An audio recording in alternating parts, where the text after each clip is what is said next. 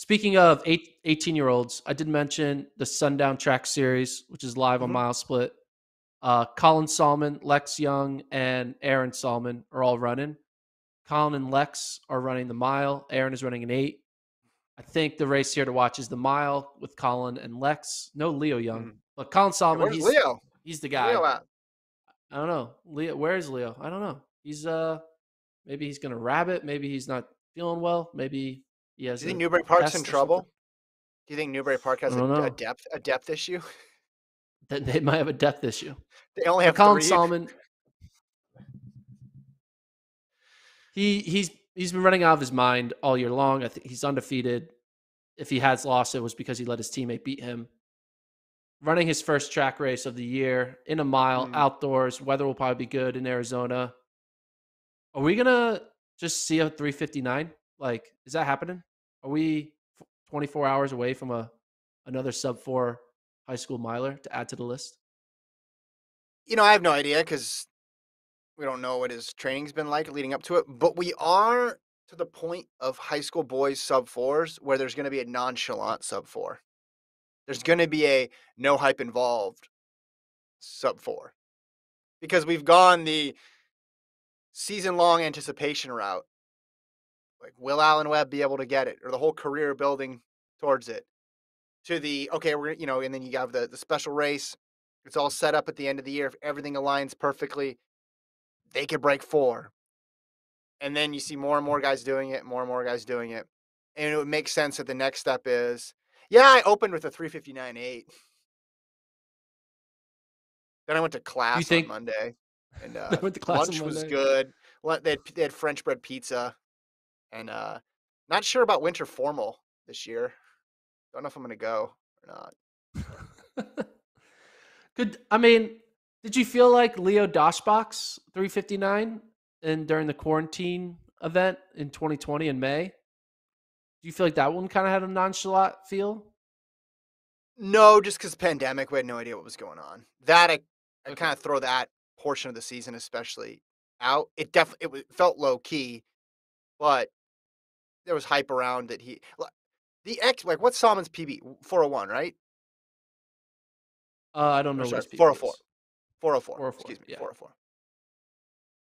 Don't want to put too much pressure on the kid, but isn't the expectation that he breaks four at this point? It is. That's what's crazy. Yeah, so and that's why I say it could be a nonchalant breaking of four. Also, if you have, if we eventually get to the point where multiple high school guys are doing it in the same race and on the same team, then it's really going to, the story obviously will be, oh, this many guys broke four.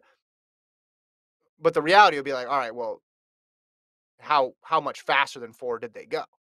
Are we talking to someone who can eventually, you know, move up in that threaten Alan Webb's record. Now that's a long way to go, but it's more about how far under you go now than just can you do it. Yeah. So 12 men have, 12 high school kids have done it. Looking for number 13, lucky number 13. I remember, I mean, I was kind of starting to trying to start the nonchalant train when Hobbs Kessler did it, right? Because I was like, eh, 357, it happens all over the place now. Yeah. Right? Yeah, yeah. So, I mean, I think he's going to run sub four, and I think it's going to be a nonchalant sub four. Um, we'll probably make a big deal out of it, but I think they, the Newbury Park has just done so much already that they have figured out a way Yeah. to make a sub four feel like a standard without even doing it yet because of Yeah. the way they dominated cross country season and their history and yeah.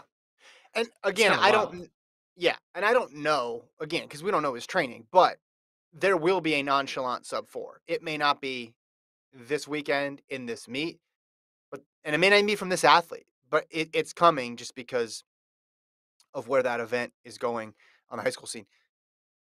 I'm guessing those guys are are they better at the 2 or the the, 1?